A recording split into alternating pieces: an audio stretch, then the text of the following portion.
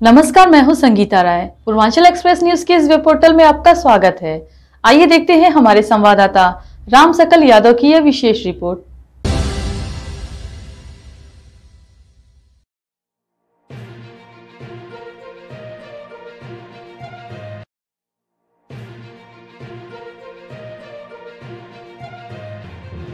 आजमगढ़ ज़िले के फूलपुर कोतवाली में एक उपनिरीक्षक का थाने के अंदर फरियादी के साथ अभद्रता का वीडियो वायरल होने के बाद एसपी अनुराग ने इसे गंभीरता से लेते हुए अभद्रता करने वाले उपनिरीक्षक को लाइन हाजिर कर विभागीय जाँच के आदेश दिए हैं। आपको बताते चले कि फूलपुर कोतवाली क्षेत्र के रहने वाला एक व्यक्ति अपनी शिकायत को लेकर थाने पर पहुँचा। थाने पर उस समय उपनिरीक्षक विपिन सिंह मौजूद थे। शिकायतकर्ता ने उनको प्रार्थना पत्र दिया। राजस्व विभाग से जुड़ी शिकायत की, जिस पर काफ़ी तेज आवाज़ में उपनिरीक्षक कहते हैं कि थाने पर क्यों आए? एसडीएम के पास जाओ। इसके साथ ही भला बुरा कहने लगे। पीड़िता कहता है कि कोतवाल साहब ने बुलाया था। बस इसी बात पर उपनिरीक्षक तमतमा गए और कुर्सी छोड़कर उठ खड़े हुए। फरियादी को मारने लगे। इसका वहाँ मौजूद किसी ने वीडियो बनाकर वायरल कर दिया। वीडियो वायरल होने के बाद एसपी ने इसे गंभीरता से लेते हुए आरोपी उपनिरीक्षक विपिन सिंह को लाइन हाजिर कर उनके खिलाफ विभागीय जाँच के आदेश दिए हैं। अपर पुलिस अधीक्षक ग्रामीण अरुण दीक्षित ने बताया कि एक व्यक्ति से फूलपुर में तैनात उप निरीक्षक ने अभद्रता की। इस मामले में उप निरीक्षक को लाइन हाजिर कर दिया गया है और विभागीय जाँच के आदेश दिए गए हैं। हमारे गाँव खुरासों में कुछ जमीनी विवाद चल रहा है, जिसका मुकदमा भी दायर है दीवानी में।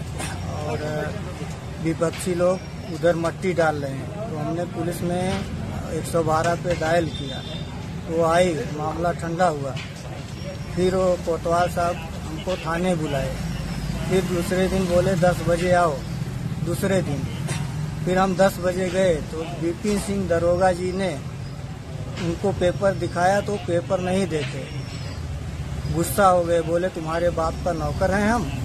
और उसके बाद तुरंत मारना पीटना चालू कर दिया। सोशल मीडिया के माध्यम से एक शिकायत प्राप्त हुई, जिसमें एक व्यक्ति द्वारा ये शिकायत की गई कि थाना फूलपुर पर नियुक्त एक उप निरीक्षक द्वारा उनके साथ दुर्व्यवहार और मारपीट की गई। इस सूचना पर एसपी आजमगढ़ महोदय द्वारा उस उप निरीक्षक को लाइन में स्थानांतरित कर दिया गया है और उसके विरुद्ध विभागीय जाँच बैठाई गई है। जाँच का परिणाम आते ही उचित और कठोर कार्रवाई की जाएगी।